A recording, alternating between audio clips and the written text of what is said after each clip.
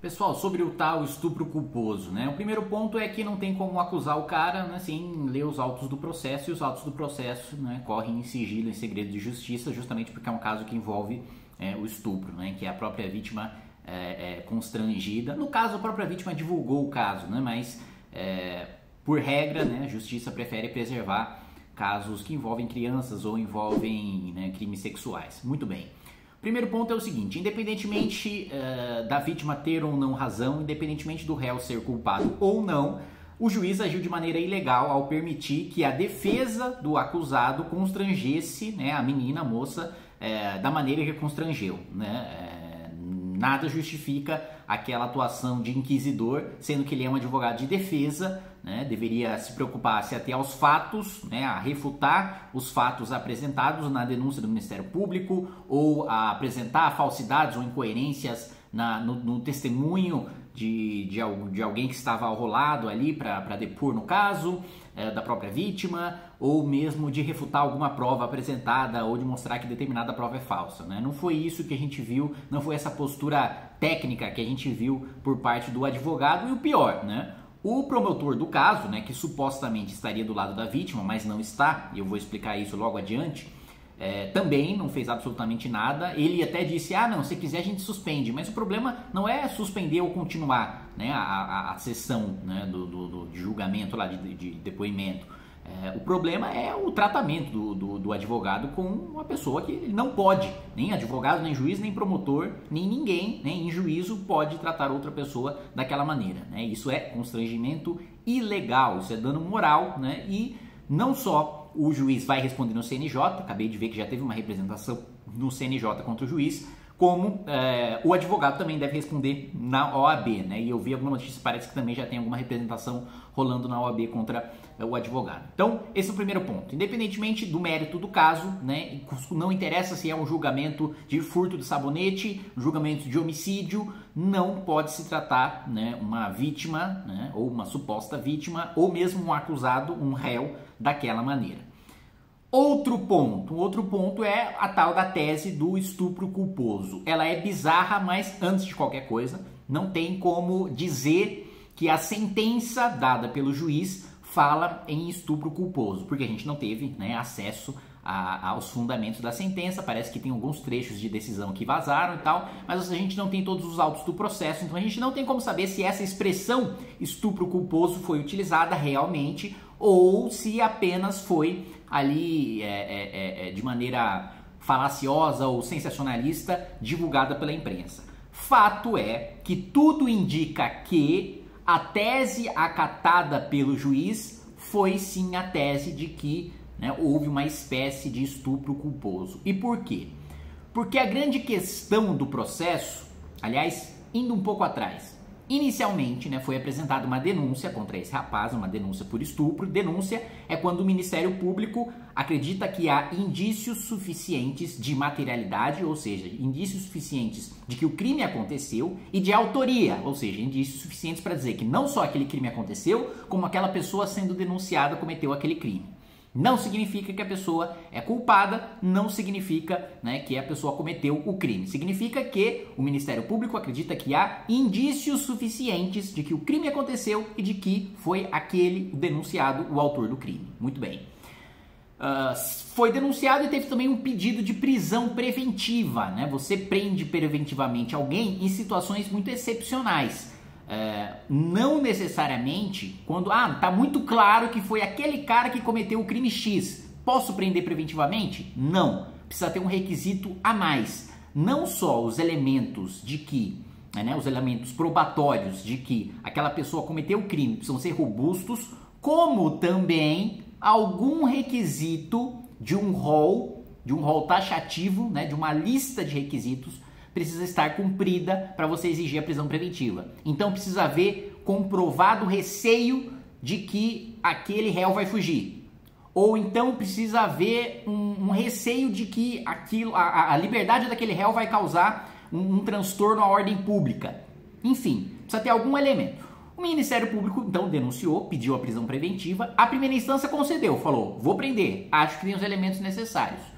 O réu recorreu para a segunda instância, para o Tribunal de Justiça. O Tribunal de Justiça concedeu uma liminar falando: não, não tem esses requisitos mínimos aí que o Ministério Público está alegando e que a primeira instância confirmou que existem.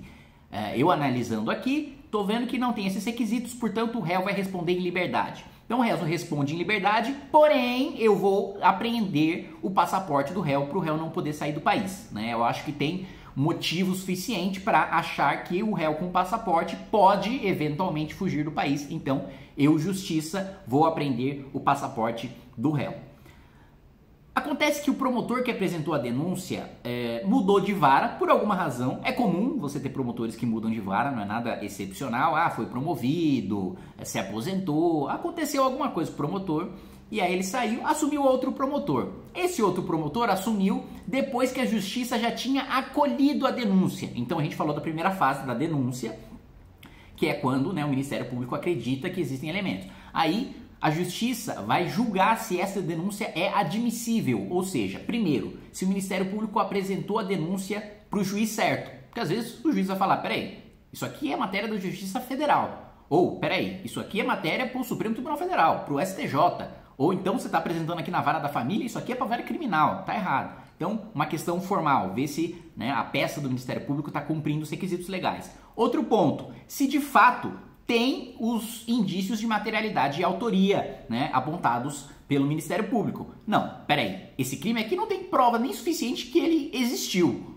Não, não está provado que esse crime que, que não, não, não tem indício suficiente para eu dizer, né, para eu apurar, para eu abrir, eu tornar, eu justiça, tornar alguém réu, né, só de alguém ser réu, esse alguém já está sendo punido, porque já vai sair notícia em tudo quanto é lugar, etc, etc, etc. Então, por mais que ser réu não signifique ser culpado, só de eu tornar alguém réu, eu preciso, eu justiça, preciso ter elementos minimamente robustos, né, para poder instaurar um processo contra esse cara, porque esse cara vai ser constrangido aqui, constrangido dentro dos termos da lei e tal, mas, né, vai passar por um processo desgastante que é responder o processo criminal, mesmo se ele for inocente, né?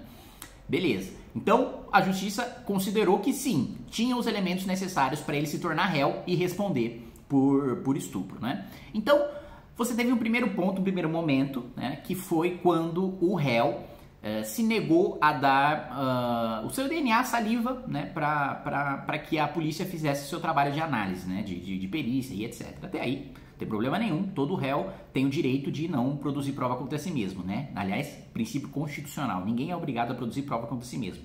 No Brasil até e em outros, em vários outros países, não é peculiaridade do Brasil, o réu pode inclusive mentir para se defender, né? É, é, a, gente considera é, é, a, o, o, qual que é o racional do sistema? Ele fala assim, eu, eu, não posso ser cruel a ponto de obrigar uma pessoa a se acusar, né? Uma testemunha não pode mentir, né? A testemunha mentir em juízo é, é, é, é, é crime. Agora, o réu, o réu pode inclusive tem o direito de ficar quieto e tem o direito inclusive de mentir, porque ele tem o direito de não se acusar. Beleza, tá dentro da legalidade e tal, não é nada demais também, né? não é uma peculiaridade do Brasil, vários outros países tem, inclusive países desenvolvidos. É, e aí ele se negou né, a dar essa prova, uh, ou dar essa possibilidade de produção de prova. Aí o que aconteceu? A polícia descobriu um copo lá no meio da festa que o cara usou, que o réu usou. E aí pegou o DNA daquele cara e fez exame de corpo de delito, né? Estupro, né? Coisa comum quando você fala, ó, sofri um estupro, qual que é o procedimento? Corpo de delito. Vamos examinar o seu corpo para saber se realmente houve uma relação sexual ou não, né? E outro ponto, o réu, inicialmente, como eu tô. E, mais uma vez, reforçando o que eu falei no início do vídeo, eu não tenho como dizer que o réu é culpado, eu não tenho como dizer se a vítima está certa ou se a vítima está errada, porque eu não tenho acesso aos atos autos do processo, tá bom? Então, os elementos probatórios que eu apresentar aqui são coisas que vazaram, vazaram ilegalmente, aliás, não deveriam ter vazado, né? O responsável da justiça, do Ministério Público por vazar, deveria ser punido por isso, mas, enfim, no Brasil ninguém é punido por nada, é uma várzea, né? Judiciário e Ministério Público, quando erram, ah, foi mal, errei, e é isso aí, e fica por isso mesmo, né? Infelizmente. O máximo que você tem é, é férias remuneradas, né? Ô, oh, tá, tá lá, fica, fica afastado para sempre, então, de férias aí o resto da sua vida. Que eu tento mudar isso com a minha emenda anti-privilégio, né? Que faltam aí 41 assinaturas e eu preciso da sua ajuda para conseguir, né? Mas feito esse parêntese, Muito bem. Então, o que eu tenho aqui são elementos né, que vazaram e eu, e eu só estou falando desses elementos que vazaram para realmente acusar ou inocentar alguém. Né? Eu, primeiro, não tenho o poder de fazer isso, né? mas para dar minha opinião sobre a inocência ou a culpa de alguém, eu precisava ter todos os elementos dos autos do processo. Muito bem. Então, seguindo. O, inicialmente o réu tinha dito que não tinha, uma, não, não, não tinha mantido relação sexual com a vítima. Né? É, aí o exame de corpo de delito mostrou que havia sêmen do réu, né, ou DNA, não lembro exatamente se era, se era do sêmen mesmo, se era DNA, mas é, é, é, a comprovação de que houve relação sexual entre o réu né, e, a, e a vítima. Então, o, o réu mudou a sua versão, ele pode mudar, não, não, tem problema nisso. É claro que pesa contra ele o fato dele mudar a versão dele, né? o juiz já vai olhar com outros olhos o réu que muda de versão durante o processo, tá? mas ainda é um direito legal dele. Mudou a versão e falou: não, tive relação sexual, só que foi consensual. Né? Uh, lembram que o promotor mudou, né? Então, o novo promotor tinha uma visão completamente diferente do caso. O novo promotor apresentou uma tese dizendo o seguinte: olha não há prova suficiente de que a moça estava inconsciente, de que a moça não estava em pleno gozo das suas faculdades mentais. Então, não posso condenar um réu. Existem até alguns elementos que podem indicar que ela não estava consci... é, é, é, é, consciente daquilo que estava fazendo, né? Mas não tem como afirmar com certeza. E aí, é o seguinte: teve relação sexual? Teve relação sexual. Mas é, não tem como saber se a vítima estava né, consciente ou inconsciente ali dos seus atos. Então, o réu não pode ser acusado por estupro de vulnerável porque não tem como saber se a moça estava vulnerável ou não. Daí a tese né, do estupro culposo, que seria tecnicamente, entre aspas, falando, porque isso não tem nem direito, né, lei, são três coisas lei, doutrina e jurisprudência, né? Ou seja, lei, o que fala o Código Penal, o Código de Processo Penal, etc. Doutrina, o que falam os livros, os professores, fala pouquinho, mas o que o professor fala, o que o livro fala, não foi aprovado em nenhum congresso, não foi dito por nenhum juiz. Mesmo assim, vale como lei? Vale. Vale porque né, o direito é feito é, é, é, também pelos professores, pela academia, ainda que isso é, é, é não, não, tenha sido aprovado no Congresso Nacional ou no Judiciário, as teses mais é, vitoriosas, por assim dizer, majoritárias da doutrina, acabam se firmando na legislação e na jurisprudência, e a jurisprudência é o histórico né, de decisões dos tribunais, né, especialmente do é, STF e do STJ, que firmam as principais jurisprudências do país, né, os entendimentos que devem ser repetidos pelas cortes inferiores ali, de segunda instância, tribunais de justiça, é, é, tribunais regionais federais e de primeira instância, né, do, do juizado é, estadual, né, do juiz de direito e do juiz federal. É, muito bem. Então não existe, né, esse tal desse estupro é, de vulnerável é, culposo, né? O, o, crime, aliás, uma coisa para você, uma curiosidade, né, muito interessante do nosso Código Penal, que é dos códigos penais ao redor do mundo, né? O crime em regra, só pode existir se ele for doloso, ou seja, se você cometeu o crime com a intenção de cometer aquele crime. Né? Não existe, por exemplo, se não tiver escrito no Código Penal a modalidade culposa, o crime não existe. Justamente nessa tese, né, o juiz diz o seguinte: olha, não existe no nosso Código Penal a hipótese de estupro culposo. Logo, e eu não tô, e mais uma vez reforçando, eu não sei se o juiz usou essas palavras, mas foi essa tese, essa foi a ideia que ele acatou na sua sentença, sua sentença de absolvição. É, pelo menos pelos trechos que saíram. Uh, não há no nosso Código Penal né, essa modalidade culposa, porque modalidade culposa só existe quando está expresso, está escrito. A modalidade dolosa do crime, quando você tem a intenção de cometer aquele crime, é só já já está escrito, né? Então, é, por exemplo, roubar, né? Ah, você, você vai lá com o uso de ameaça, é, é, acho que é violência grave ameaça, né? Você é, leva, subtrai bem alheio móvel, né? É, só existe modalidade dolosa, só faço isso com a intenção de. Não tem como eu, eu, eu, eu vou lá e, e roubo um cara sem querer. Agora, furto, por exemplo. Ah, peguei uma caneta que não era minha pensando que era minha. Isso é furto? Não, porque não existe furto culposo. Né? Se foi sem a intenção, de levar um bem alheio móvel, né, achando se for achando que foi seu, logo, né, você não, você não pode ser culpado por isso. Nessa mesma linha, foi o juiz de dizer que não tem o tal do estupro culposo. Qual que é o grande problema disso? É, é questionável se ela estava né, é, dopada ou não? Sim, porque o laudo diz que não tem, não foi colocada nenhuma droga, né? Ela diz que acredita ter sido drogada. O, o, o, as provas periciais, né, o exame de corpo de delito, mostra que ela não foi drogada, né? Isso está descartado. Agora, poderia ser que ela estivesse inconsciente por estar transtornada de bêbada, é, e isso o exame não vai mostrar, é, porque não é uma droga, né? Porque não vai dar nenhuma alteração no sangue ali depois de, de um exame feito 12, 14 horas depois, não sei exatamente qual período tal. É uma possibilidade. Agora, é uma possibilidade que ela, ela, vítima, não tem como provar e o Ministério Público também não tem como provar. Logo, indúbio pro réu. Na dúvida, eu beneficio o réu. Beleza, não tenho como provar que o réu cometeu estupro de vulnerável. Agora, as provas envolvendo estupro em si o Ministério Público poderia muito bem ter descartado aquela denúncia de estupro de vulnerável e apresentado nova denúncia, falando: não, tudo bem, não tenho prova que ela estava inconsciente, mas eu tenho prova de que foi feita uma relação sexual sem o consentimento da vítima.